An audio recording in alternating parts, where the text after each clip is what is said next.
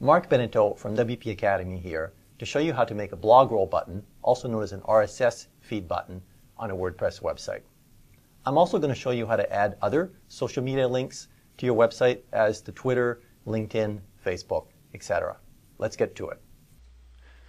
So we're back on the WordPress Essentials for Business test site and I'm going to show you how to add a blog roll button to a WordPress website. Now a blog roll button is a list of links to external sites that you like, particularly external blogs. And it normally goes on your sidebar.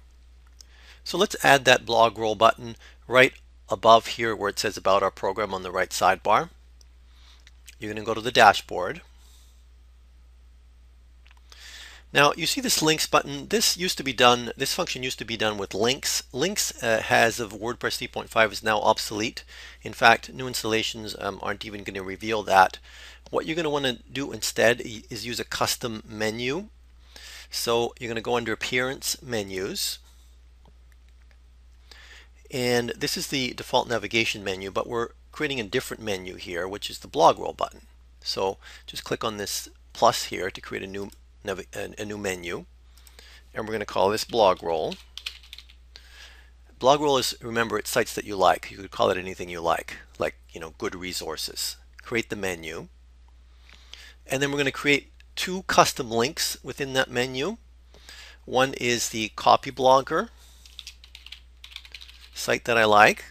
And you're going to have to find that URL. I've gone to the Copyblogger blog here. Copy that into my clipboard and paste into the custom link URL, add to menu.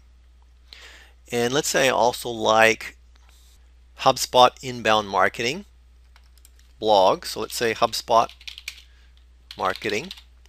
And here's that HubSpot inbound marketing blog. Just copy that URL, paste that into the custom link, add that to menu. You can reorder these by drag and drop, which is pretty cool. We're going to save the menu. And then you just have to add the custom menu widget to your sidebar. And this, of course, is done from the appearance widgets.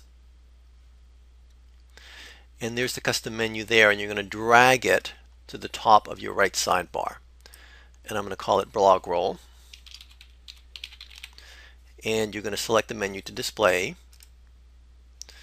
And now when we refresh the site, there's that blog roll and the external links to the Copyblogger and to the HubSpot marketing. Now, if you wanted to add uh, social media links instead, there's many plugins that will add social media links to your site. There's follow me links and there's like links, two separate categories, but you just have to Google WordPress social media plugin and you'll get a whole list of them and or WordPress social media plugin review.